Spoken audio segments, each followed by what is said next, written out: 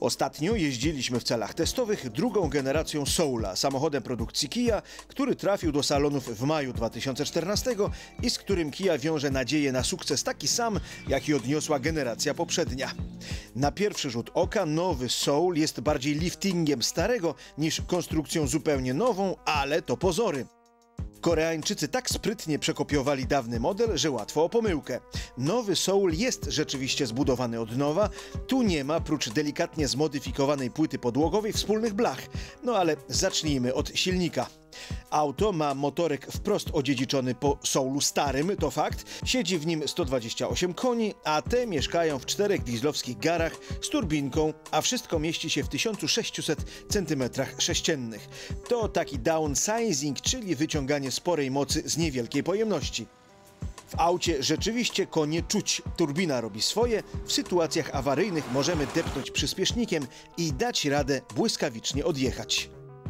Można z tego dobrodziejstwa korzystać na co dzień, ale przy stosunkowo niewielkim litrażu częste żyłowanie motoru przez turbinę nie wróży wieloletniej bezawaryjności. Co innego w silnikach wielolitrowych, gdzie duża, nieuturbowiona moc brana z dużej pojemności nie zużywa aż tak tłoków, pierścieni, wałów, łożysk i tym podobnych. Tak więc zabawa w pedał do podłogi małym dieslem skończy się wcześniej, no ale kto właścicielowi zabroni? W każdym razie ten motorek ma 260 Nm momentu, osiąganych od 2 do niemal 3000 obrotów. Bardzo porządnie. Wersje benzynowe są zazwyczaj gorsze nawet o newtonometrów 100. W nowym Soulu do tego mieszamy sześcioma przełożeniami, co sportowcom się spodoba, bo tak zwane krótkie biegi dodają dynamiki nawet leniwym kierowcom. Spalanie przy ostrej jeździe w mieście zamknie się nawet 8 litrami, choć prospektowo przewiduje się coś koło 6. Gdy wleczemy się o spale, oszczędzając turbinę, wypalimy niemal siódemkę. I tu nie ma zmiłuj, chyba że wozimy się sami z przepompowanymi kołami i pustawym zbiornikiem, no to 6,5 też się trafi. Na szosie za to we dwójkę przy przepisowej 90 jak w banku mamy 4,5 na setkę.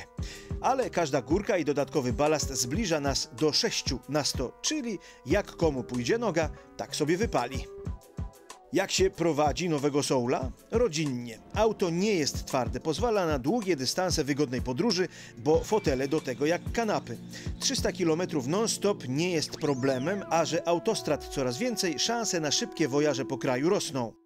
Jeżeli auto mamy rodzinne, to kufer winien pomieścić wielobagaż. Niestety pod klapą mamy jedynie 350 litrów do zagospodarowania, więc wyprawy nad morze bez boksów dachowych raczej nie widzimy.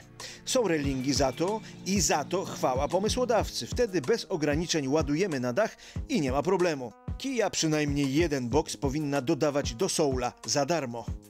Tak właśnie w przypadku pierwszej generacji Soula czynili amerykańscy i kanadyjscy dealerzy Kia, gdzie wóz stał się przebojem sezonów do tego stopnia, że w ubiegłych latach wstrzymano dostawy aut do Europy, żeby zaspokoić potrzeby kontynentalnie północnoamerykańskich miłośników Soula.